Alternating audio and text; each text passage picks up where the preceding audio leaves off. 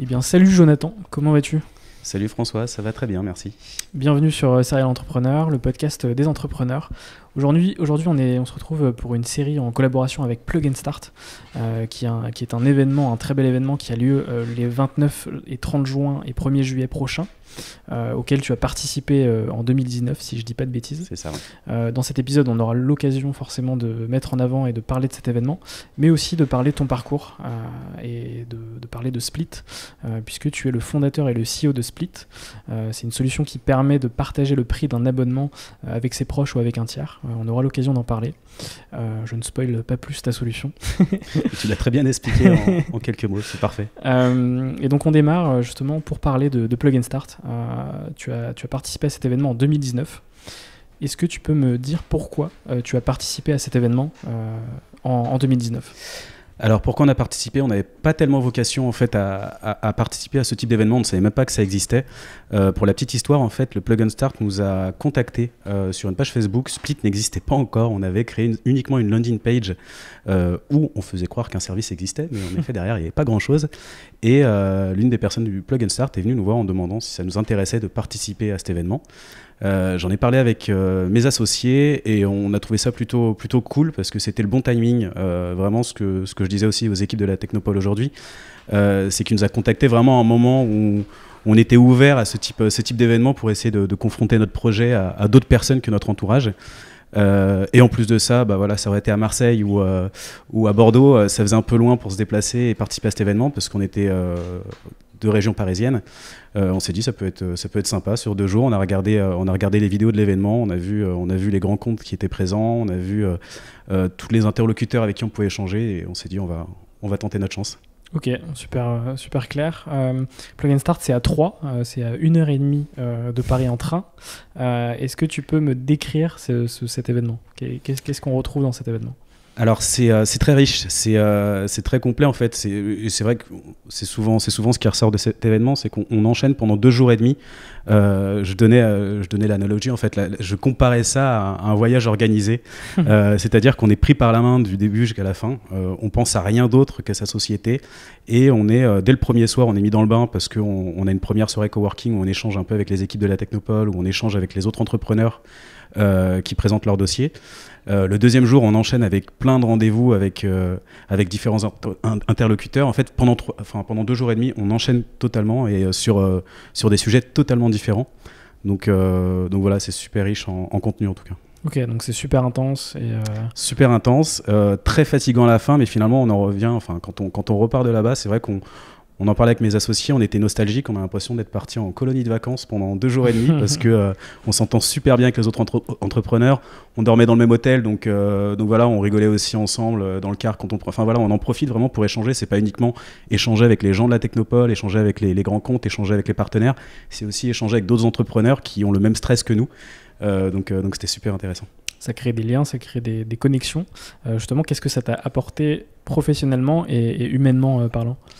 Alors professionnellement, euh, j'y allais en fait euh, avec un but, euh, un but précis, dans le sens où moi j'ai déjà créé des sociétés avant, donc il y avait certains sujets que je maîtrisais plutôt bien, en tout cas que je connaissais pour avoir déjà levé des fonds ou autres, donc il y avait vraiment dans, les interlocuteurs, et ils le voyaient en échangeant avec nous, qu'il y avait certains sujets qu'on maîtrisait, mais d'autres beaucoup moins, sur la partie juridique, sur la partie financement, subvention notamment.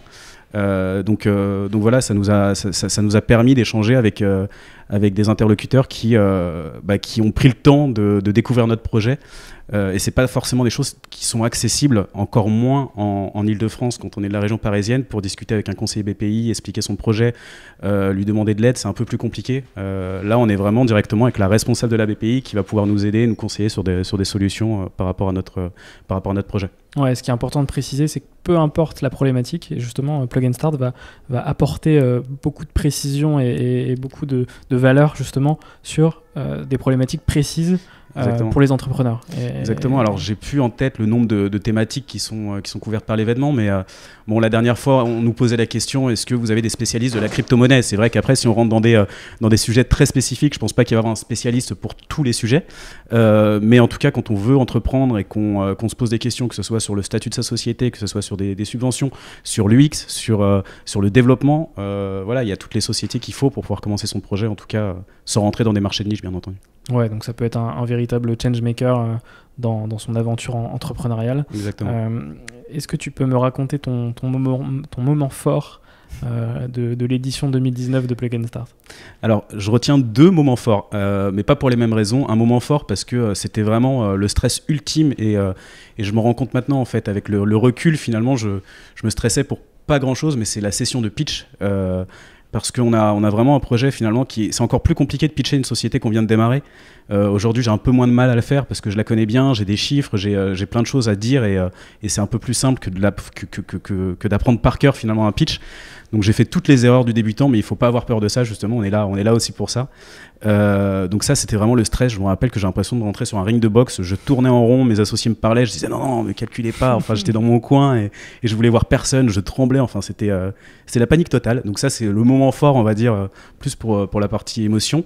mais ce que je retiens aussi, c'est bah, il faut l'avouer, le plug and start, euh, il y a aussi la, région qui soutient, la région Grand Est, la ville de Troyes qui soutient cet, événement.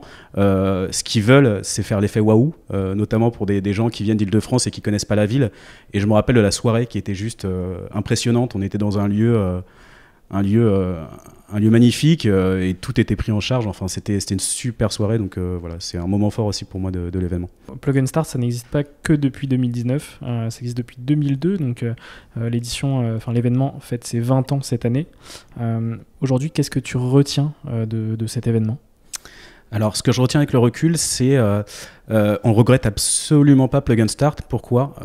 Après, je pense qu'on reviendra sur le projet Split plus en détail, mais mm euh, on, a toujours laissé notre siège social. Comme je le disais tout à l'heure, euh, nous, on est de, région parisienne. Euh, la ville de Troyes, je crois que j'avais fait quelques allers-retours, comme beaucoup, pour découvrir les, usines de vêtements à l'époque.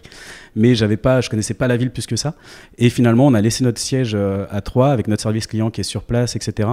parce qu'en fait, l'événement nous a permis de, nous ouvrir énormément de portes. Et ce que je dis aujourd'hui, finalement, participer au Plug and Start, c'est un peu comme avoir ça dans un CV quand on commence une société. Parce que le fait de dire j'ai participé au Plug and Start, j'ai été sélectionné dans les dossiers quand vous allez voir la région pour une, demande d'aide, de subvention ou de prêt, quand vous allez voir une banque qui est installée, euh, dans la région, quand vous allez voir la BPI, euh, bah, ça vous ouvre toutes les portes. Euh, c'est un événement qui est populaire, qui est connu dans la région. donc le fait, ne serait-ce que de participer à l'événement, vous ouvre, des portes. Après, il y a le côté concours Plug and Start, où en effet, il y a un classement, mais finalement, ce que retiennent, les, interlocuteurs sur place, c'est le fait d'avoir déjà un, dossier qui a été sélectionné. on était une vingtaine de dossiers à avoir participé en 2019. Euh, sur près de 500 dossiers. Donc déjà, c'est une fierté. Et, euh, voilà, c'est euh, nous, c'est avec le recul, c'est toutes les aides et, vraiment, c'est pas du pipeau parce qu'on vous on vous parle beaucoup en fait de ce que vous allez pouvoir avoir si vous installez votre siège, si vous, rejoignez la Technopole, si vous vous, participez au Plug and Start. on peut être assez réticent au début en se disant bon bah c'est peut-être aussi le fait d'essayer d'entraîner des sociétés qui sont pas forcément de Troyes et d'Île-de-France. Et, et, en fait, la réalité tout autre, c'est que c'est c'est même plus que ce qu'on pensait. Nous, on a euh, la conseillère bébé qui nous, appelle, qui est proactive. On a la région qui nous a toujours soutenus. Donc, euh, non, c'est vraiment, euh, je le conseille, je le conseille à beaucoup de, beaucoup de sociétés et encore plus des sociétés qui seraient en Ile-de-France, sur, sur d'autres régions qui sont beaucoup moins accessibles. J'ai envie de dire, pour moi, la, la, région Grand Est et Troyes, en tout cas, c'est presque un petit village et un petit écosystème, mais justement, c'est encore plus simple d'accès pour, pour ces entrepreneurs qui veulent être bien conseillés. Ouais, ma, question d'après, c'était est-ce que tu conseilles Plug and Start à des porteurs de projets qui veulent se lancer? Mais tu as complètement répondu à cette question, voilà, euh, justement en mettant bah, en avant justement toute la richesse de, l'événement et, tout ce que ça peut apporter justement euh, aux entrepreneurs qui, euh, qui vont candidater à cet événement. c'est important de préciser qu'effectivement, il y a 20 projets innovants qui sont sélectionnés. Donc, c'est pas on candidate, on rentre et on participe à l'événement, c'est pas ça. C'est sur, sur candidature et sur sélection. la prochaine édition a lieu les 29 et 30 juin et le 1er juillet prochain. Euh, et les candidatures sont jusqu'au 20 mai. Euh, donc tout projet euh, innovant peut candidater et, peut potentiellement avoir une chance ou pas de participer à, la prochaine édition. Donc c'est important de le préciser. Et puis pourquoi pas créer une, une entreprise comme Split par la suite. Et justement, on va en parler dans, dans quelques secondes. La première question, c'est qu'est-ce que tu as fait avant d'entreprendre? Alors, euh, avant d'entreprendre, en fait, moi aujourd'hui j'ai 37 ans. j'ai 37 ans et j'ai créé ma première société. J'ai entrepris pour la première fois quand j'avais 19 ans. Euh, c'était euh, par pur hasard. Il n'y avait pas d'ailleurs tous ces événements qui existaient à l'époque. Hein. C'était je crois que la BPI s'appelait Oseo et encore, je crois qu'Oseo n'existait même pas à cette époque-là. Euh, j'avais un projet professionnel, donc j'étais en BTS de communication visuelle euh, et j'avais comme vocation de devenir maquettiste. je travaillais dans la presse jeunesse notamment. Donc j'étais en alternance à Bayard Presse. Donc si vous connaissez un peu, ça va peut-être vous rappeler votre enfance, mais les J'aime lire, les Astrapi, mm. les Okapi, Co. j'étais maquettiste dans, dans, dans, cette société en tant qu'alternant. et du coup, je devais me tourner plus vers euh, vers un métier euh, dans, le print, donc quand on dit dans le print, dans la presse, dans l'édition. Et euh, je suis tombé par hasard sur le web en créant un, petit site personnel pour, pour des amis qui étaient graffeurs. donc j'ai fait du HTML et ça m'a éclaté de, faire ça. Et du coup, pendant mes études en BTS, j'ai souhaité me convertir sur la partie web design, créer finalement des, des chartes graphiques pour des sites internet.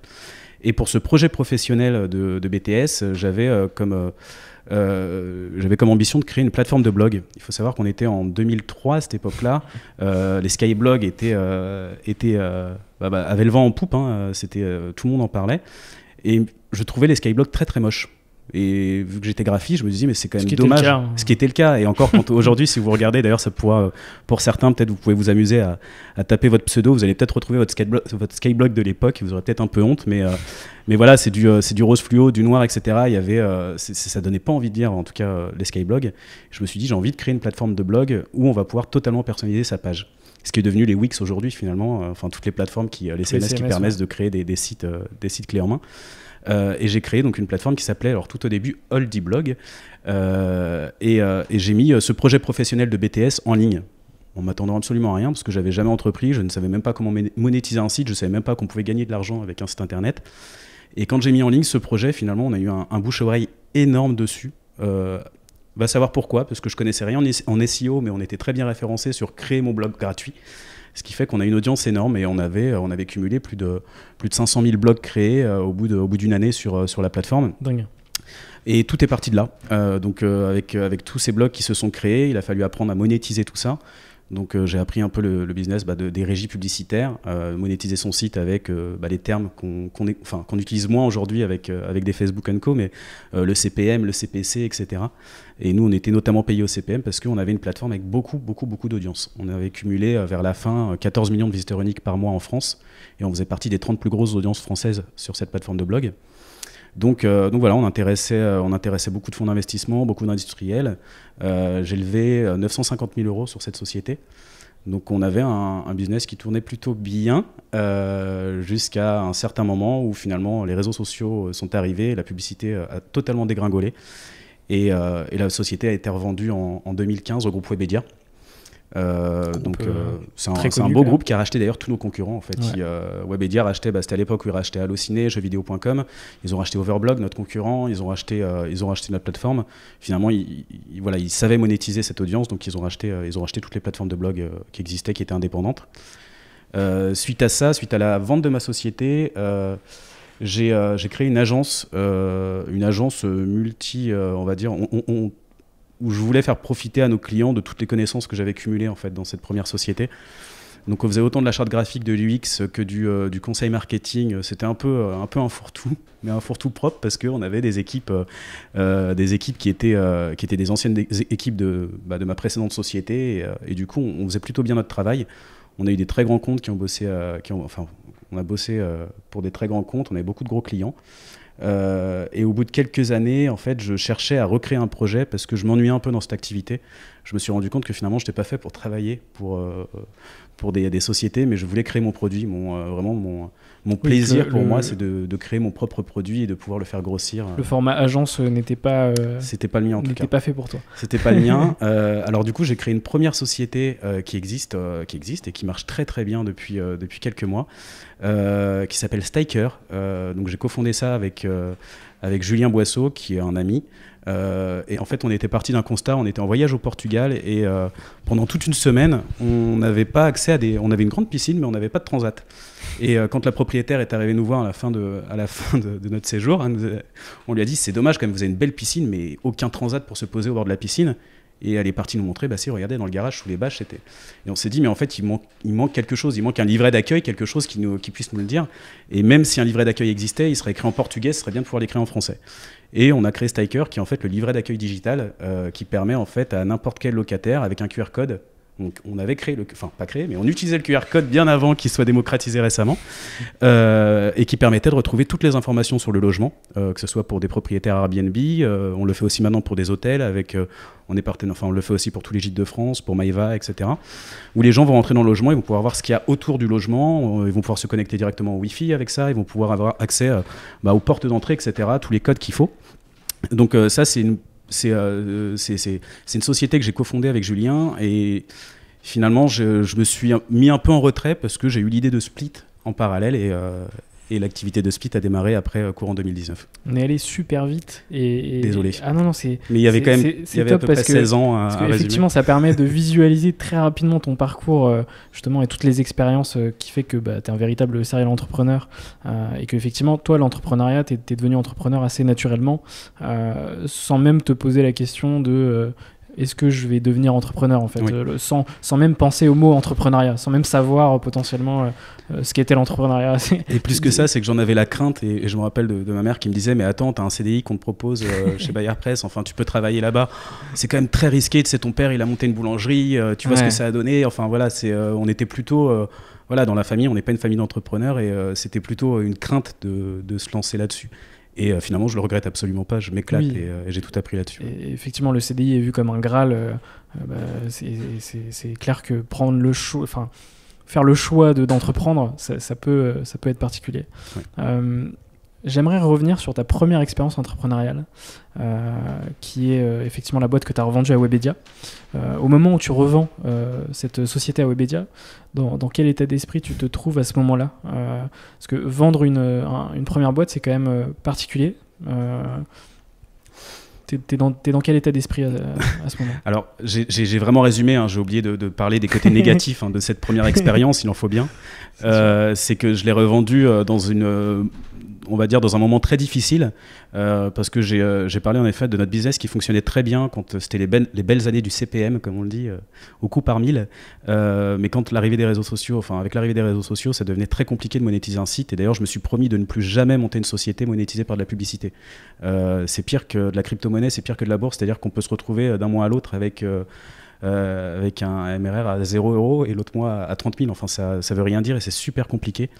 Euh, et, en fait, on n'arrivait plus à monétiser le site. Donc, euh, et on avait des impayés, notamment sur certains fournisseurs. On a été en redressement judiciaire. Euh, on été sauvé par, par, par, un ami en fait qui a, qui a réinjecté de l'argent dans la société, qui nous a permis de survivre et sortir de, de ce redressement judiciaire. Et c'est à ce moment-là que la boîte a été revendue. L'erreur que je retiens en tout cas que j'ai faite, c'est que pendant un moment on était très très bien valorisé. On avait notamment la famille Mullier qui, voulait, euh, qui nous a fait une proposition de rachat euh, euh, pour, pour, pour ma plateforme. Ils avaient à l'époque, je crois que ça existe toujours, hein, Cuisine à Z, etc. Ils avaient créé vraiment un pôle, un pôle média et voulaient nous racheter. On avait, on avait refusé. Pourtant, la valorisation était assez belle et du coup, on a revendu à Webedia, mais on a revendu bien trop tard. Donc, et, et, ce que je me dis aussi, c'est que c'était mon tout premier projet, c'était clairement mon bébé. Donc, je voulais, je m'accrochais énormément à ce projet. Je, je me voyais pas m'en débarrasser en fait, mais mais, euh, mais voilà, c'est Cette première aventure, ça a duré 10 euh, ans, je crois euh, Alors, officiellement, la boîte a été créée en France en 2007, mais l'activité existait depuis 2005. mon associé était américain, donc on a créé une LLC et finalement, on a levé des fonds en France, donc on a créé la SRL en, France en 2007. Donc entre 2005 et ouais exactement 10 ans. donc une, première aventure riche en apprentissage avec des très hauts et des très bas. Exactement. mais finalement parfait pour potentiellement euh, rebondir par la suite en fait. Donc euh, euh, direct juste après tu dis je vais monter une agence. Ou est-ce que tu as un temps de réflexion, un peu perdu, temps de vrai dire. repos, de Ouais. même prendre non, j'avais pas envie de surtout pas me reposer, Ouais. mais, mais j'étais totalement perdu et j'avoue que je le voyais vraiment comme un échec parce que, comme je l'ai dit, j'étais, on était monté très haut. Enfin, j'étais très fier de, de, de ce, de ce projet en fait qu'on avait créé et j'ai l'impression, j'avais presque honte en fait à la fin de me dire mais qu'est-ce que c'est devenu en fait? Donc heureusement qu'on a une sortie avec Webedia et que la plateforme existe toujours. Euh, je me suis même amusé la semaine dernière à aller voir des gros blogs qu'on avait chez nous et qui existent toujours, qui sont toujours actualisés. Ça, m'a fait halluciner.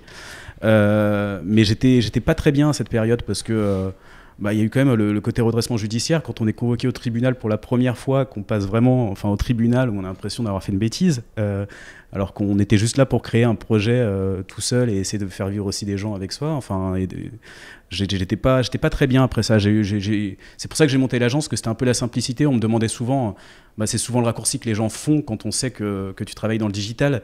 Mais euh, quand j'étais euh, gérant de, de cette boîte, en fait, monde me disait, tiens Jonathan, j'ai un ami qui me dit qu'il aimerait avoir un site. Euh, tiens, on- on Jonathan, est-ce que tu fais des applications? Donc, ils ont tendance à tout mélanger.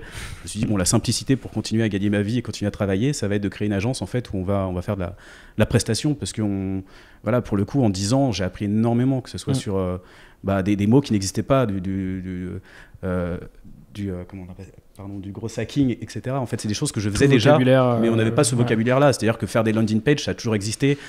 Faire, voilà, il y avait énormément de choses qui existaient, mais on n'utilisait pas les termes d'aujourd'hui. Et, et nous, par contre, on conseillait des grosses boîtes là-dessus, bien avant que ces termes existent, et, et ça se passait très bien. Et, et voilà. Mais pour moi, c'était pas vraiment une, c'était de l'entrepreneuriat, mais quand euh, c'est comme dire je suis auto-entrepreneur, je sais pas si on peut dire on est, entrepre- on est entrepreneur quand on est auto-entrepreneur, parce qu'on est prestataire, mais pour moi, c'est pas vraiment entreprendre. Oui, c'est Entreprendre, Puis euh, il y, a- il y a plein de manières d'entreprendre et, et chaque manière est différente. Enfin, même euh, le, le- le- le portage, euh, la micro-entreprise, le freelancing. Enfin, c'est plein de formes d'entrepreneuriat qui effectivement ne sont pas les mêmes sur, sur chaque aventure. Donc, on, on- on va pouvoir passer à, à Split, euh, qui, euh, qui est créé en mai, en mai 2019. Si je si je dis pas de bêtises, Euh, qu'est-ce qui t'amène justement à, à créer Split En tout cas, cette première landing page de, de ce Ouais. premier produit? Alors, euh, ouais, d'ailleurs, mai 2019, tu as raison. Euh, ça, c'est vraiment le- l'enregistrement, euh, l'enregistrement de la société euh, au registre du commerce. Et c'est une erreur qu'on a faite parce que je, je conseille tout le temps aux entrepreneurs qui se lancent, montez votre société le plus tard possible. Je reviendrai peut-être dessus après, mais euh, quand vous n'avez pas encore le produit, ça ne sert à rien de monter la société parce qu'il y en a plein qui disent j'ai monté ma société, mais finalement c'est une coquille vide. Mm. Et euh, vous vous retrouvez quand vous voulez demander des subventions à la BPI qui vous, enfin, qui vous répondent bah non, c'est six mois après la création de la société, donc c'est trop tard. Euh, donc ouais, c'est vrai que mai 2019, ça me paraît un peu tôt parce que finalement le projet, on l'a réellement lancé, le vrai projet en octobre 2019. Euh, et l'idée de Split est née euh, bah, du coup en mars 2019, donc deux mois avant la, la création de la structure, en échangeant avec, euh, avec, avec des amis. Euh, on se disait finalement, on, voulait profiter chacun d'un abonnement. En fait, je crois qu'on on nous proposait Apple Music, de l'autre côté, il y en avait un qui me proposait Netflix, et on, on- faisait du, troc d'abonnement finalement. Euh, mais on s'est dit, ce serait peut-être plus sain de, faire euh, sous forme de, de partage. Euh, de partage financier, c'est-à-dire même si c'est un petit montant, un micro montant, euh, comme ça au moins on se pose plus la question, chacun, chacun paye sa place et on, peut se prendre des abonnements qu'on n'aurait peut-être jamais souscrits. Euh, et, tout de suite en fait on s'est dit tiens c'est une bonne idée. Le réflexe que j'ai eu c'était d'aller sur Lydia et, de regarder si Lydia permettait les paiements récurrents. Et il n'y avait pas de paiement récurrent sur Lydia. Et ils l'ont mis en place un peu plus tard, mais c'est toujours pas du paiement réc- récurrent automatique, c'est du pa- paiement récurrent avec alerte. Donc il faut penser tous les mois à activer, en fait, à accepter la récurrence. Euh, sur PayPal, pareil, j'étais étonné. Je me dis, avec le, enfin, avec le recul, PayPal n'a toujours pas mis en place le paiement récurrent. Et du coup, on s'est dit, mais finalement, euh, on va essayer de créer le Litchi, donc la cagnotte en ligne, mais du paiement récurrent pour du micro-paiement. Hmm. Euh, parce que finalement, du paiement récurrent, euh, on pourrait nous dire aujourd'hui, mais toutes les banques le font. Euh, donc c'est vrai que mettre en place un paiement récurrent sur une banque, c'est très facile, mais on va le faire pour 20 euros minimum, et encore, et sinon pour payer ses loyers, mais on va pas le faire pour 2,50 euros pour envoyer de l'argent à François, et en plus pour se retrouver dans ses relevés, c'est compliqué. Donc euh, donc c'était vraiment le, premier, euh, le premier projet de Speed, c'était ça. Euh, c'était de créer cette petite cagnotte et cette fameuse landing page. Je mettais juste bah, combien vous payez par mois? On ne demandait pas d'ailleurs c'était un abonnement Netflix ou un abonnement Spotify. On, pouvait même dire c'est je paye 30 euros de capsule Nespresso. Au bureau on est 5. euh, bah, ça, divise par, par, euh, par 6 la note et chacun va verser 5 euros. Il rentre sa carte bleue et tous les mois il se pose plus la question. Ça, va alimenter la cagnotte du propriétaire. Donc ça c'était vraiment le, les prémices du projet. Euh, et, euh, et voilà, et en fait, on a, on a mis cette landing page au mois de juin, euh, je crois, en ligne officiellement, et on a été médiatisé, mais c'est parti, ouais, c'est parti, effet boule de neige. Je crois qu'il y a un premier article qui est sorti dans les échos, les startups, startup échos, quelque chose comme ça. Euh, qui, a été, euh, qui a été repris par toute la presse, euh, par toute la, toutes les radios. J'étais en vacances avec ma copine et, je me souviens, je, je voyais des alertes constamment. On était passé sur Europe 1 un, matin, on était, le lendemain on était chez Diffoul sur Skyrock. Et ils me contactaient même pas, moi je savais pas. Enfin, j'étais vraiment en vacances et je voyais des trucs, je disais c'est énorme. Et le problème, c'est qu'en fait, on était médiatisé beaucoup trop tôt. Et il faut savoir, quand on monte une entreprise d'ailleurs, quand on fait des RP, il faut faire très attention au bon timing aussi pour les RP. Parce qu'une fois qu'on a eu le buzz, une fois qu'on a eu cet effet vraiment où tous les médias vont parler de vous parce qu'il y a de enfin, il y a de l'innovation. Euh, c'est beaucoup plus compliqué de reparler de vous une deuxième fois, euh, six mois après, un an, même trois ans après, parce que l'effet, euh, l'effet buzz est déjà passé. Donc nous, on a communiqué beaucoup trop tôt parce que tous les gens qui venaient sur Split étaient vachement déçus. Les médias, en fait, parlaient de notre futur Split en disant... Bah, ce, service va vous permettre d'économiser, de partager vos frais Netflix, vos, voilà, vos forfaits, vos forfaits musique, etc. finalement, quand tu allais sur la page, tu étais un peu déçu. Tu disais, ah oui, d'accord, c'est juste un truc qui me permet de simplifier mes paiements. Enfin, c'est via PayPal. Enfin, c'était vraiment voilà, de la petite construction maison qu'on avait fait. Euh, et, euh, par contre, ce qu'on a gagné de ça, euh, c'était un peu le prix à payer, c'est qu'on a eu beaucoup de retours utilisateurs qui nous disaient, et c'était vraiment pas l'idée qu'on avait au début, on trouvait ça un peu risqué de le faire, euh, bah finalement votre concept est bien, hein. l'idée est bonne, mais moi ce que j'aimerais c'est pour être mis en relation avec d'autres utilisateurs. Euh, Netflix, on va dire, c'est très facile de trouver des co-abonnés sur Netflix parce qu'ils ont un catalogue très large, mais euh, si vous regardez du manga, dans ton cercle familial, dans, ton, dans ton cercle d'amis, t'as pas forcément des gens qui regardent du manga, donc des gens qui ont les mêmes appétences pour un service, c'est compliqué à trouver. Et on s'est dit, bah écoute, on va prendre le risque. On reviendra peut-être après sur ce côté risqué euh, juridique du, projet, mais euh, on va créer le Blablacar de l'abonnement. Les gens qui ont des places vacantes sur leur abonnement, donc on va référencer uniquement les offres qui sont partageables. On va surtout pas référencer des offres euh, pour un écran, des offres pour une personne, des offres étudiantes ou autres. On va référencer uniquement les offres les plus chères et les offres qui se partagent. Donc c'était un sacré boulot quand même de référencer tout le catalogue d'offres. Et ce qui était assez marrant, c'est qu'au début, je crois qu'on a lancé le projet au mois d'octobre avec une trentaine de services. Euh, et, finalement, c'est les utilisateurs qui nous remontaient des services qu'on ne connaissait même pas. Et aujourd'hui, on a à peu près 150 services sur la plateforme qui sont référencés parce qu'on euh, se rend compte qu'énormément d'éditeurs proposent des offres de partage d'abonnement sur, euh, sur leur plateforme.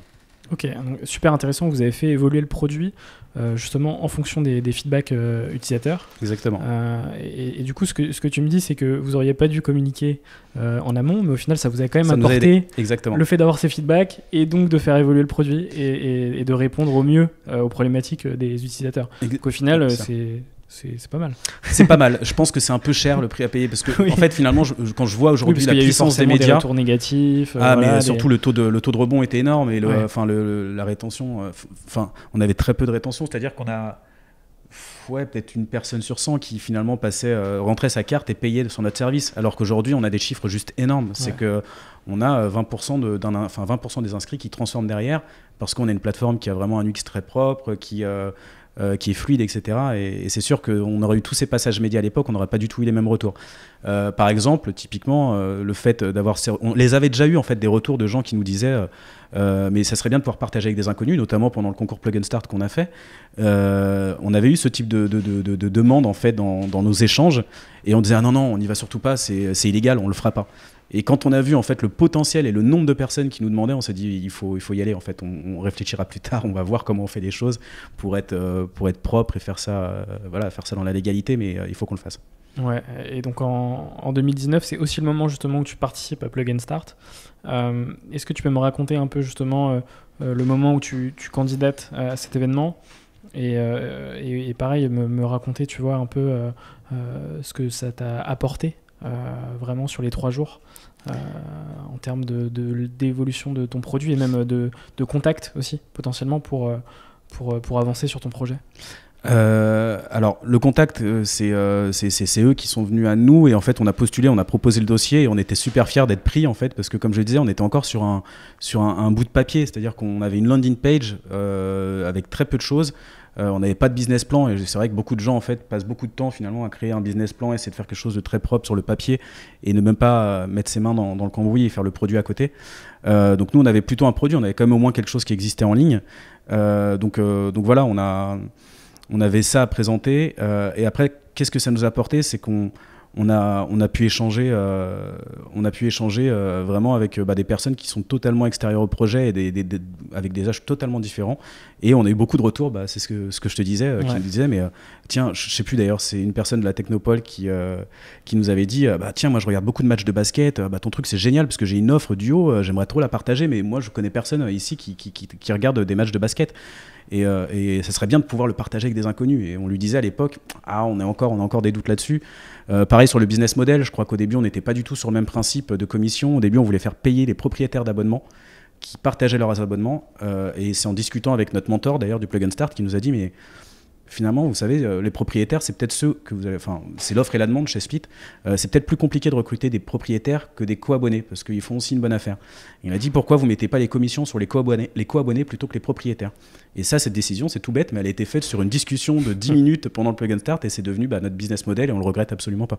Ok, super, euh, super intéressant. Oui, parce qu'aujourd'hui, Split, c'est effectivement soit tu es propriétaire d'un compte et tu proposes des, des slots sur ce compte soit inversement, tu recherches euh, à rentrer dans un compte et à prendre un slot. Euh, donc soit tu es demandeur, soit tu es Soit c'est ça. Alors nous on les appelle les propriétaires et les co-abonnés. Après on peut, avoir plein de termes. Et ce qui est génial avec Split, c'est qu'on se rend compte que finalement quelqu'un qui venait pour devenir propriétaire va très vite devenir co-abonné parce qu'il se prend très vite au jeu. C'est ça. Et on crée vraiment un cercle vertueux. C'est que la personne qui récupère de l'argent finalement de son, de son partage euh, on était très étonné d'ailleurs de ces chiffres, c'est que euh, on pensait depuis le premier jour, parce que c'est gratuit de faire des virements sur son compte, il n'y a pas de minimum, donc même pour un euro, on peut virer l'argent sur son compte euh, quand on, a, quand on récolte de l'argent. Bah, finalement, on a beaucoup d'utilisateurs, 30 à 40% des utilisateurs, qui réinvestissent cet argent pour prendre d'autres abonnements sur Split. Donc la réalité, c'est qu'ils font pas ça pour faire des économies dans leur, dans leur budget quotidien, c'est qu'ils veulent juste souscrire à plus d'abonnements, euh, bah, répondre finalement à, la demande du marché. C'est qu'aujourd'hui, on multiplie les abonnements, tout le monde crée des offres d'abonnement et ça devient impossible de pouvoir souscrire à toutes ces offres. Donc, euh, donc on, aime bien se comparer un peu aux offres bundle de Canal+, qui en fait, avec un abonnement Canal+, ils vont vous offrir une, dizaine de services. Bah là, finalement, Split permet de faire du bundle sur mesure. Euh, bah, la personne qui était plus intéressée à ce type de service de musique, plus à ce titre de presse, à, ce, à ce, type de service de série ou des SVOD, il va faire son choix et grâce à Split, il va pouvoir voilà, faire son propre bundle. Il y a un vrai aspect communautaire aussi? Oui, qu'on est en train de pousser de plus en plus. Euh, c'est des grosses demandes qu'on a des utilisateurs, notamment sur la gamification, mais euh, euh, c'est des, retours qu'on a qui sont très très fréquents, notamment sur nos avis, etc.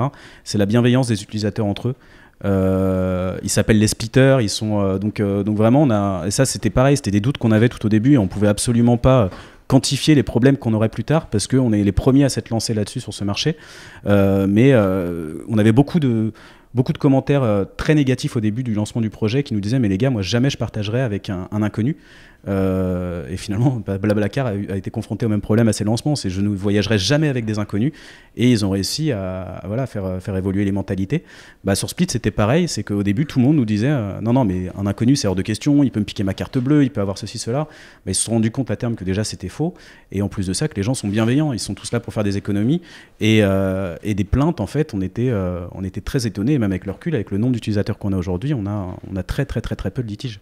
Ok. Et euh, on, reprend un peu l'aspect chronologique euh, du, projet. Euh, on arrive en 2020. Est-ce que tu peux me parler un peu de l'impact que la pandémie a eu sur ton business?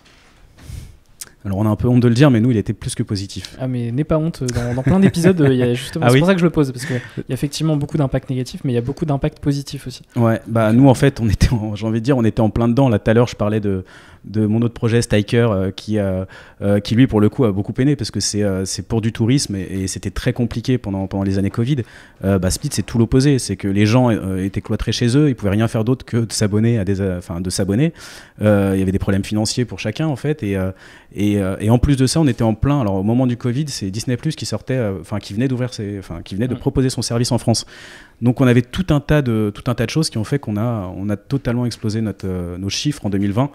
Euh, ce qui a fait qu'on a, ouais, on a une très bonne croissance en 2020 et ça nous a permis d'accélérer très vite. Euh, tout était réuni finalement pour, euh, pour que ça fonctionne. Et en plus de ça, il y a plein de services par abonnement qui sont sortis qui n'existaient pas du tout avant. Par exemple, on avait commencé sur des thématiques qui étaient la SVOD, la musique et la presse, et le jeu vidéo aussi. Mais on a par exemple la thématique qui est sortie pendant le confinement, qui était le bien-être, avec des offres de bien-être. Et, et, voilà, donc non, non, pour nous, on va dire que le confinement nous a aidé en tout cas dans notre Ouais, croissance. Un, un bon, un bon petit booster. Ouais. Est-ce que tu peux me, me résumer un peu euh, euh, tes, ces années 2020, 2021 et, et début d'année 2022, euh, un peu sur les, les- les enjeux de ces différents euh, temps forts euh, de, de l'entreprise? 2020, donc ouais, c'est vrai en plus que chaque année, a, enfin, chaque année était différente euh, pour Split. C'est-à-dire qu'en 2020, je- j'ai tendance à, à résumer cette année comme l'année R&D. Euh, C'est-à-dire qu'on a fait qu'évoluer notre, on a appris avec nos utilisateurs, on a appris avec euh, aussi euh, les, les arnaques possibles. Ça, je sais plus, bah, c'était au Plug and Start d'ailleurs. Encore une fois, notre banquier qui est toujours le, même aujourd'hui, qui participe en tant que jury au Plug and Start, qui m'avait dit, Jonathan, tu serais étonné de voir même sur des micro montants le nombre d'arnaques que tu peux avoir. Parce que moi, j'avais tendance à dire, euh, tu sais, c'est du partage à 2 Mhm. euros, 3 euros. Euh, Quelqu'un, avant qu'il puisse te, te- te- te récupérer en, en arnaquant des gens 300 euros, par exemple, parce qu'il partage des faux abonnements, il faut y aller, quoi. Et en fait, il avait totalement raison. Les gens sont prêts à tout euh, pour trouver. Ils sont très, très, très, très malins pour trouver des astuces pour pouvoir détourner un système. Et, euh, et en fait, on a, pendant, pendant 2020, et c'est là- on a un peu créé notre boîte noire et, et notre barrière à l'entrée aussi euh, pour, des futurs concurrents. C'est que même quelqu'un de très gros aujourd'hui, qui aurait beaucoup de budget pour lancer un concurrent chez nous, il n'aurait pas ces petits secrets qu'on a euh, qui font qu'on arrive à déceler en fait tout, type d'arnaque possible. Et on est passé par des, euh, choses pas possibles, mais en tout cas 2020 c'était vraiment l'année R&D optimisation avec comme, comme leitmotiv de se dire bah, la communauté va, faire que grossir. On a un business model où on est très peu rémunéré par utilisateur parce qu'on est sur de la commission. Euh, donc il, faut, pouvoir scaler le, produit le, plus vite possible sans forcément embaucher 50, 100 personnes au service client pour gérer tous les litiges. Donc euh, 2020, c'est vraiment une année où on a, fait en sorte de tout scaler, y compris pour l'international, de préparer tout pour l'international. Euh, donc voilà, c'était vraiment l'année R&D. Euh, 2021, ça a été l'année de l'international euh, parce que euh, mars 2021, on a, euh, on, a, on a lancé Split en Italie et en Espagne. Euh, on existait déjà en Belgique et en France, mais euh, l'Italie et l'Espagne, pourquoi? Parce que c'est le seul marché où on avait déjà un concurrent qui était présent depuis plusieurs années, euh, bien avant nous, qui était très gros, qui s'appelle Together Price. Et on s'est dit, ils ont déjà en fait un peu évangélisé le marché, ils ont déjà ouvert le marché. Et quand on me demandait à l'époque de, de Split, quand on l'a créé, euh, est-ce que vous avez des concurrents Euh, C'est top, vous n'avez pas de concurrents. On disait au contraire, en fait, on préférerait avoir des concurrents euh, parce que ça, ça permet vraiment d'ouvrir le marché. Donc, euh, donc Together Price, on, on- voilà, on, voulait, on voulait aller sur leur marché, l'Italie, l'Espagne, et on a lancé Split en, en Italie et en Espagne. On est très très fiers des résultats aujourd'hui. Euh, et, euh, et 2022, euh, 2022 bah, l'année de la rentabilité. Euh, on est très très content au bout de deux ans et demi d'avoir une société qui est désormais rentable. Euh, on, multiplie les pays à l'international parce que maintenant le, site est disponible en 23 langues, si je dis pas de bêtises, euh, dans toute la zone de, la monnaie euro. Donc, euh, voilà, l'année 2022 va être vraiment euh, l'objectif de, multiplier euh, euh, nos utilisateurs euh, en Europe, en tout cas pour le moment. Ok. Est-ce que tu peux me parler un peu du, du business model euh, de Split? Alors le business model. combien, Combien ça coûte? Est-ce que c'est. Alors, c'est. Ouais, c'est. Bah, c'est. Il y a, il y, a deux- il y, a deux- il y a deux types de. Deux types de tarifs sur Split. Soit on arrive en tant que propriétaire et, euh, et là ça peut être totalement gratuit. Si vous savez, parce qu'il faut savoir que sur Split on a 25%, entre 20 et 25% des utilisateurs qui utilisent Split vraiment comme une solution de paiement, qui était, euh, comme j'ai expliqué tout à l'heure, euh, bah, notre, notre premier projet, quoi, qui n'était pas de mettre en relation avec des inconnus, mais d'utiliser Split comme le litchi de l'abonnement, en fait, de, enfin, la, la cagnotte qui va Mmh. permettre de récupérer de l'argent, parce que ergonomiquement c'est simple à comprendre. Donc ça c'est totalement gratuit pour un propriétaire. Et euh, bah, il suffit qu'il envoie un lien sur WhatsApp, un lien, euh, un lien par SMS, et euh, la personne en face va recevoir, euh, comme un Lydia, finalement, tu payes et il rentre sa carte bleue, où on a rajouté tout un tas de moyens de paiement. On est maintenant partenaire de Lydia aussi, donc c'est ça qui est assez drôle. Où tu peux aussi payer avec ton Lydia. Euh, et euh, tu as le propriétaire qui, lui, veut partager avec un inconnu. Donc là, c'est différent. C'est totalement gratuit pour lui, à l'exception que euh, tu as des frais de mise en relation le premier mois uniquement. Donc les frais de mise en relation, pour te donner un exemple, on est à, à 25% du montant dans la limite de 1 euro. Donc tu peux pas avoir jusqu'à 2 euros, 3 euros de frais de mise en relation euh, si Mm. tu récupères 15 euros. Le maximum, c'est 1 euro de frais de mise en relation. Euh, et c'est pas toi qui payes finalement, c'est en soustraction de ce que tu vas toucher quand tu auras un, un, un Oui, c'est co-abonné. prélevé directement. Exactement. Et, euh, et en fait, l'avantage de ça, c'est que tu payes une seule fois, mais après ton co-abonné, et vu qu'on a un churn qui est assez bas, il peut rester 2 ans, 3 ans, 4 ans. Euh, bah, pour toi, ça sera gratuit à vie en tant que propriétaire, parce que le virement, comme je le disais tout à l'heure, est totalement gratuit, il n'y a pas de minimum, euh, tu n'as rien à payer en tant que propriétaire. Pour le co-abonné, euh, quand il rejoint un abonnement, lui, c'est très simple, on l'affiche clairement, il n'y a pas de frais cachés, c'est 5% plus 35 centimes euh, du montant. Et, et pour nous, c'est un business model qui est super intéressant. Donc, comme je le disais, c'est très peu de. On a une moyenne de 60, entre 50 et 60 centimes de commission par, par abonnement.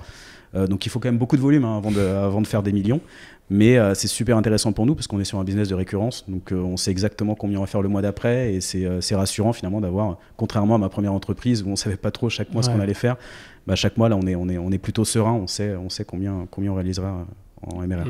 Et, donc aujourd'hui, en termes de typologie d'abonnement, tu, tu, me disais qu'on retrouvait aussi du, du bien-être, pas que des, abonnements comme euh, Netflix, euh, Spotify ou, Prime Video.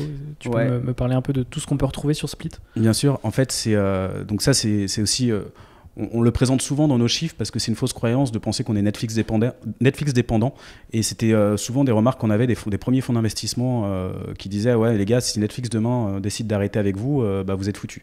La réalité c'est qu'en effet la SVOD, la SVOD est une grosse section chez nous parce que ça représente 49% de tous nos abonnés ce qui est, ce pas rien, mais dans les 49%, Netflix est minoritaire parce qu'il y a plus de 30 plateformes de SVOD. Euh, vous connaissez tous Disney, euh, OCS, Canal, euh, Netflix, mais il y en a énormément sur des thématiques précises. Donc, donc voilà, la SVOD est notre grosse thématique. ensuite, on a la musique avec les Spotify, Apple Music, Tidal et autres. Euh, on a ce qui fonctionne bien, on a la presse, donc on est partenaire avec euh, quasiment tous les titres de presse, donc euh, on est très fier de ça, et on a même réussi à faire signer l'équipe, dans le sens où quand je, quand je parle de signature de l'équipe, c'est qu'ils n'avaient même pas d'offre d'abonnement partageable. On les a rencontrés une, première fois, on les a convaincus, ils ont créé des offres de partage spécifiquement pour pouvoir les mettre sur Split. Trop cool. on, a, on a les logiciels qui fonctionnent très bien, donc logiciel ça peut être du Office, ça peut, du, ça peut être de l'antivirus, ça peut être du VPN. Euh, les jeux vidéo. Donc euh, là, la très très bonne nouvelle qu'on a eu récemment, c'est que alors, Nintendo Online est une offre qui se partage de. Ils ont un système de partage familial, mais PlayStation et Xbox c'était un peu plus compliqué. Et la très bonne nouvelle qu'on a eue il y a quelques semaines, euh, c'est qu'ils sont en train de sortir des offres de partage. Donc, donc voilà, on va pouvoir être. Génial avec PlayStation et Xbox. ensuite, on a le bien-être. On est en train de lancer en exclusivité une thématique banque. Je ne veux pas en dire plus pour le moment, mais on a, on a signé un beau partenariat avec une, une néobanque et on est en train de lancer cette thématique. Euh, j'en ai oublié sans doute, hein, je presse. on a une dizaine de thématiques, mais voilà. Donc vous n'êtes pas euh, Netflix dépendant. C'est ça qu'il faut retenir, exactement. exactement. Il y a, y a, tout, un, tout un potentiel euh, qui, qui, ne fait que grossir d'ailleurs. Ouais, donc je me, je me fais pas trop de soucis. Est-ce que tu peux me rappeler un peu les, les chiffres sur Split, nombre d'utilisateurs de, de, sur la plateforme notamment? Alors, on a eu un gros coup de boost hein, euh, là il y a quelques semaines euh, suite à un passage télé. Euh, donc on était parce que dans ce reportage qui est assez drôle, c'est qu'on, je crois qu'ils avaient filmé notre compteur en fait avec les chiffres. On était un peu moins de 400 000 utilisateurs. là, on a dépassé les 470 000 utilisateurs sur la plateforme.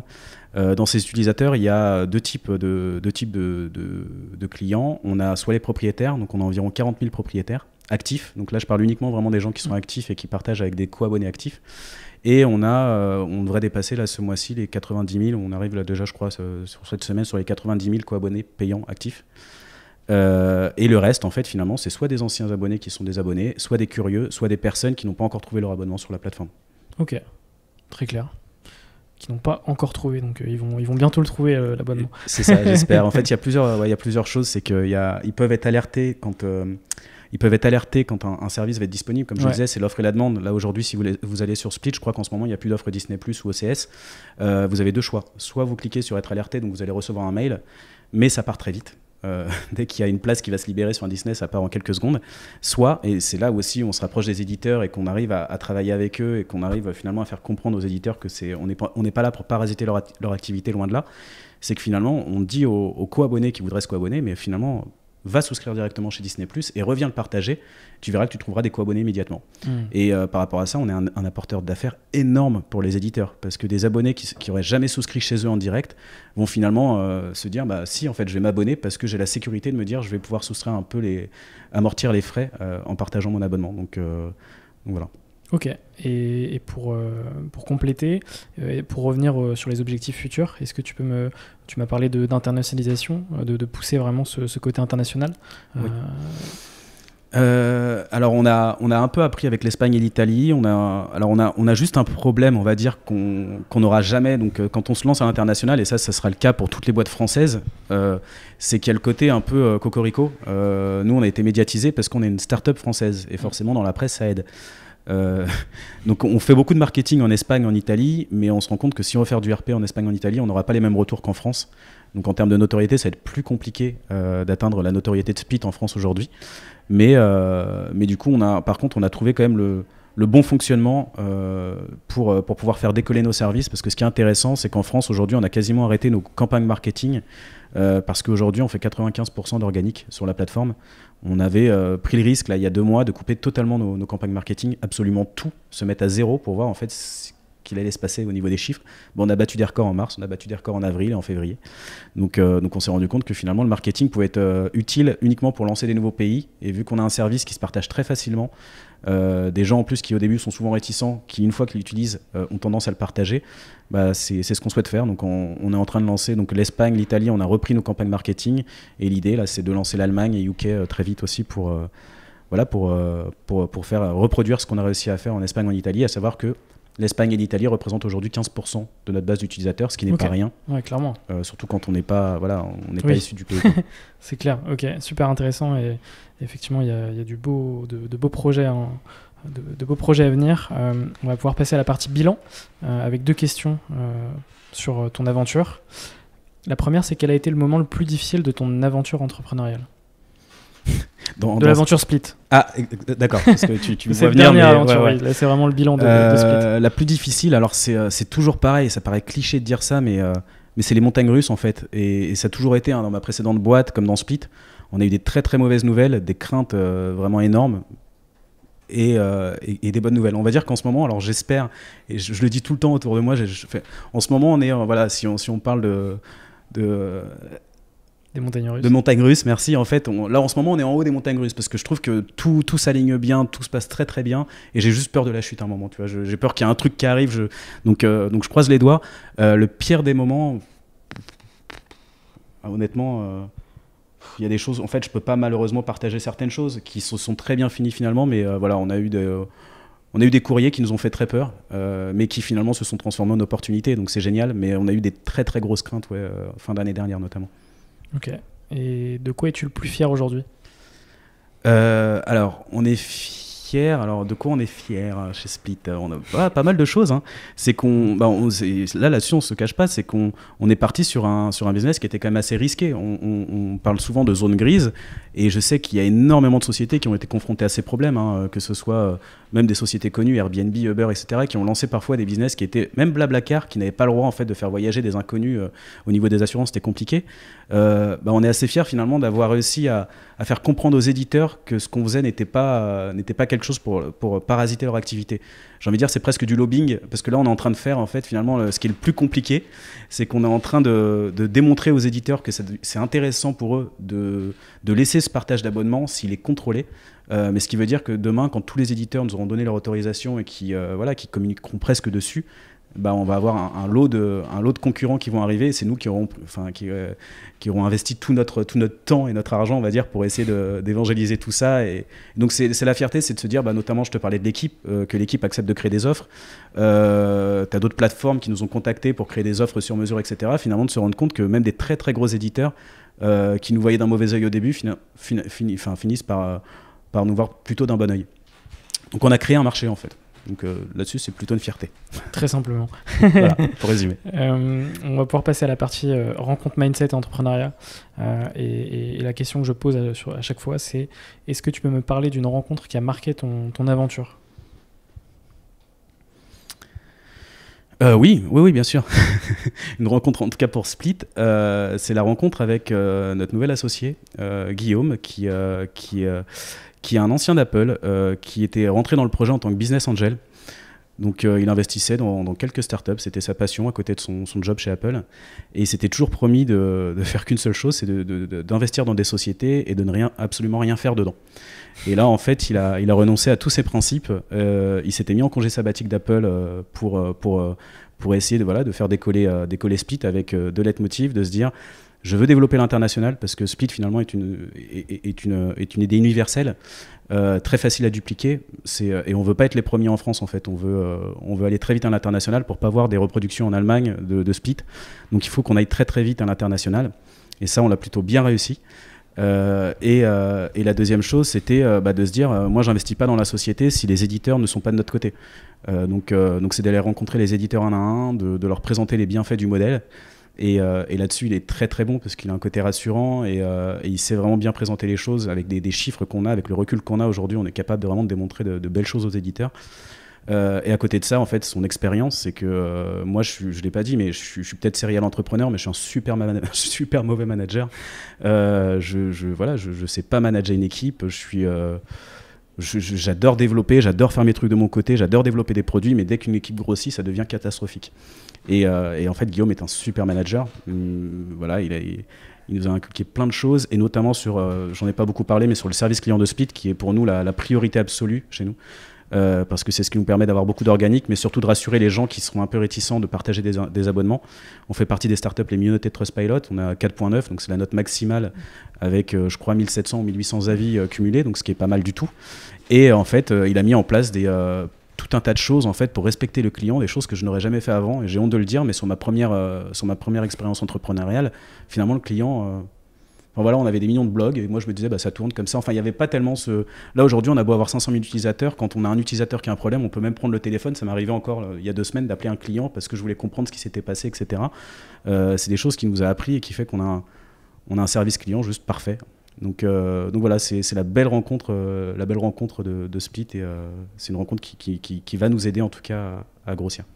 Juste pour revenir sur ce que tu as dit sur le, fait que tu étais euh, un, mauvais manager, euh, l'entrepreneuriat et le management ne sont pas du tout reliés. Donc, ouais. ouais. enfin ça peut être relié dans le sens où si tu sais pas t'accompagner, enfin si tu sais pas t'accompagner là, être accompagné là-dessus, c'est compliqué. Et, d'ailleurs souvent on parle de passer d'entrepreneur à manager qui sont euh, deux métiers, enfin de, de, compétences totalement différentes. Donc c'est intéressant que, que, tu en aies parlé. la deuxième question c'est est-ce que tu peux me citer une personne qui t'inspire en particulier? Ça peut être dans l'entrepreneuriat, mais ça peut aussi être un, artiste ou un, enfin. Hmm. Ah, dans l'entrepreneuriat, en fait, on a, c'est des personnes et des projets ou des personnes? L'invité d'avant m'a dit la nature, donc euh, ça peut être euh, ah, aussi bien un projet que euh, un secteur, que voilà, il n'y a pas de, il a pas de limite sur l'inspiration. Allez, il faut que je dise. en tout cas, alors à titre perso, moi, il y a des, des personnes que j'adore écouter, réécouter. Euh, mais euh, parce qu'en fait, on se ressemble indirectement en fait. Mais, euh, mais dans leurs projets, dans leurs idées, je vais, je vais te citer bah, quelqu'un que tu as reçu en plus. Donc c'est pas pour lui faire de la pub, mais parce que j'adore l'écouter. C'est Wilfried, le CEO de Superprof. parce qu'il est super transparent dans, ses, dans, dans, sa manière d'expliquer les choses. Superprof, il a lancé avant Split, et c'est vrai que le fait d'écouter ses passages, ses podcasts, ça me motivait à entreprendre en fait. Il est super simple dans sa façon d'expliquer les choses, et ça me donnait envie de relancer mon projet, parce que ça me faisait penser à ma première expérience entrepreneuriale. Euh, euh, et, voilà, moi, il m'inspire énormément parce que finalement, dans nos deux business, et on en a parlé récemment là-dessus, mais euh, c'est très très proche finalement ce qu'on fait entre Superprof et Split. Mmh. Donc, donc voilà, il m'a motivé en tout cas pour, pour me relancer sur Split notamment. Ouais, et puis il a un dynamisme hyper communicatif. Donc, Carrément. ça marche très bien. et, la dernière question sur cette partie, c'est quel conseil justement tu donnes aux personnes qui se lancent dans, dans l'entrepreneuriat? Il y en a plusieurs. Euh, il y en a plusieurs. Donc euh, après, c'est des, si je dois donner des conseils concrets comme ça, au moins, ça va vraiment servir sur, servir sur une to-do list. Euh, je l'ai dit récemment à des, amis qui montaient une société, mais il y, a plusieurs choses en fait, plusieurs choses quand on se lance. Mais, mais je l'ai donné un peu tout à l'heure. L'erreur à ne pas faire, c'est de créer une société quand on n'a pas créé le produit. L'erreur à ne pas faire, c'est quand on, on, veut lancer un produit, ne pas avoir de CTO dans sa boîte ou ne pas être à l'aise du tout avec la technique, parce que voilà, c'est très compliqué. Donc un conseil, c'est euh, créez d'abord votre produit, testez, euh, testez, euh, testez très vite votre, votre produit, quitte à acheter un peu de, Google AdWords. Vous avez des bons d'achat gratuits, vous pouvez les tester, vous pouvez et avoir des premiers retours clients parce que finalement c'est ce qui nous a permis d'aller plus vite sur Split. nous on a eu malheureusement des passages presse, enfin malheureusement et heureusement, mais ce qui nous a permis d'avoir des, retours très vite et de se dire bon allez go, on se lance là-dessus. donc, donc voilà, mon conseil c'est de, créer la société le plus tard, pour, le plus tard possible, mais, mais de se focus à fond sur le produit qu'on veut proposer. Ouais, et puis surtout qu'une société, ça, se crée aujourd'hui assez rapidement. Très très simple. Donc euh, voilà, c'est extrêmement simple. Et, Et les gens qui me disent, bah, tu vois, je suis entrepreneur, j'ai créé une société. euh, Enfin, ouais, c'est vrai qu'il y a 15 ans, quand j'ai créé ma première boîte, c'était pas aussi facile. Là, aujourd'hui, euh, pour pas leur faire de la pub, mais tu vas sur Legal Start, t'as tout Ah qui est oui, inclus dedans, tu crées ton compte sur Conto. euh, tu, si En- demain t'as des salariés, tu prends en Payfit. 48 heures, ton numéro tirette, euh, voilà. Ouais, c'est ça. Donc c'est là là-dessus pour moi, c'est même plus un sujet de créer une entreprise en France. C'est juste qu'il faut pas créer une coquille, une coquille vide et ça peut même vous entraîner des, entraîner des problèmes derrière parce que si vous voulez être aidé par la BPI, vous allez passer pour une société qui, euh, qui finalement est trop trop trop vieille, trop âgée pour euh, pour avoir des aides. Ouais, exactement. Eh ben, écoute, c'est un, un bon conseil. Euh, on va pouvoir passer à la partie finale euh, du podcast avec trois, trois petites questions. Euh, y a-t-il une question justement que tu aurais aimé que je te pose mais que je ne t'ai pas posée? Euh, Ça peut être sur Split, euh, sur ton aventure, sur euh, quelque chose que tu souhaiterais mettre en avant euh, potentiellement? Ou pas? Euh, Si t'en as pas, c'est pas grave. Non, parce que finalement, j'ai- sans que tu me les poses, j'ai- je les ai- enfin, j'y ai répondu dedans en fait quand je parlais aux éditeurs, parce que souvent c'est un, c'est un tabou en fait, euh, et quand on a des médias qui nous interrogent, euh, je préfère même leur dire, mais parlez de la, de la zone grise, parlez de la légalité de- du Mm. projet, euh, parce que euh, voilà, nous on sait y répondre maintenant et on est plutôt serein. Il y a deux ans, j'étais pas à l'aise du tout, et c'était presque un piège quand un média me, po- me- me posait cette question. Donc, donc là, on est plutôt serein, mais tu vois, quand, quand je te répondais, tu m'as pas posé la question directement, mais comment vous voyez les éditeurs? Est-ce que vous avez eu des plaintes? Est-ce que vous avez eu des, des choses comme ça? Bah, Finalement, j'ai fait Tu as comprendre. euh, répondu euh, voilà, indirectement qu'on a- on avait des. le sujet. ouais. donc, vis-à-vis de. Netflix aussi, sur la, la- la dépendance potentielle euh, vis-à-vis de Netflix. Euh, voilà, c'est- Non, il n'y a pas de question. euh, voilà. Où est-ce que- où est-ce qu'on est, si euh, chez Split, euh, on est, on est splitté. Donc euh, voilà, je voulais, je voulais le placer ce jeu de mots. hein, je- on, est, euh, a une, des, équipes à trois. On est dans l'Arche de la Défense à Paris. Moi, pour ma part, je suis à Bordeaux depuis le mois de novembre et j'adore ma vie à Bordeaux. Euh, Guillaume, mon associé, est à Lyon. On a un autre associé à Rennes. Euh, voilà, on est, on est très splitté euh, et ça marche très bien comme ça. Très bien. Et du coup, la deuxième question, c'est quels sont les entrepreneurs que tu me conseilles pour, euh, pour de futurs épisodes? Alors, euh, tu rencontres beaucoup d'entrepreneurs, François. Donc c'est compliqué parce que tu vois, dans- quand je regarde l'historique, euh, je- je- j'en ai déjà vu trois qui, euh, qui me parlaient, mais finalement, je vais pas les proposer. Non, non, je vais en proposer un qui. Bon, il y a un petit, voilà, un petit intérêt derrière de, le dire, mais euh, c'est euh, c'est le cofondateur, mon cofondateur euh, pour Stiker, c'est Julien Boisseau. C'est un super projet et là on est en plein, enfin, on est sur des très très gros contrats, on va dire. Euh, et je pense que ça peut être intéressant de voir, de voir l'histoire de Stiker parce que Stiker, c'est l'exemple parfait des choses qu'il ne faudrait pas faire. Euh, C'est-à-dire qu'on a créé la société beaucoup trop tôt avec une coquille totalement vide, ce qui fait que oh, bah, finalement on a totalement bootstrappé, on n'a jamais levé de fonds sur cette société, on a mis énormément de fonds, à- euh, énormément de temps pardon, à arriver euh, où est-ce qu'on en est aujourd'hui. Euh, et du coup, on n'a eu aucune aide de, qui que ce soit parce que euh, la société est trop vieille, parce que ça peut aussi faire peur à des fonds d'investissement de dire mais attendez, la boîte est créée en 2017, euh, votre produit, là, vous, commencez à faire du chiffre que depuis l'année dernière. Donc je pense qu'il a plein de choses intéressantes à raconter là-dessus et, il est aussi agréable. Super. Bah écoute, je, note la, la ça peut être effectivement un, épisode assez intéressant. Et, la dernière question justement que je vais te poser, c'est quoi pour toi un, entrepreneur? Un entrepreneur, c'est quelqu'un de passionné déjà. Euh, je le vois parce que tu as des. euh, et c'est pour ça d'ailleurs que j'adore participer à des événements comme Plug and Start, que j'adore chaque fois qu'il y a des événements organisés dans, euh, dans différents écosystèmes. Il faut savoir qu'à Bordeaux, on a créé un club entre nous, juste pour se rencontrer entre entrepreneurs. Euh, on a commencé ça il y a trois mois et là, on se rend compte que finalement, on est tous des passionnés parce qu'on est passé de 5 à 40 en quelques, en quelques mois. Euh, donc il faut être passionné et il faut. Il faut pas avoir peur de prendre des risques. Voilà, c'est euh, ça un entrepreneur pour moi. C'est euh, c'est soit choisir la sécurité, soit vouloir, euh, vouloir prendre des risques et s'amuser.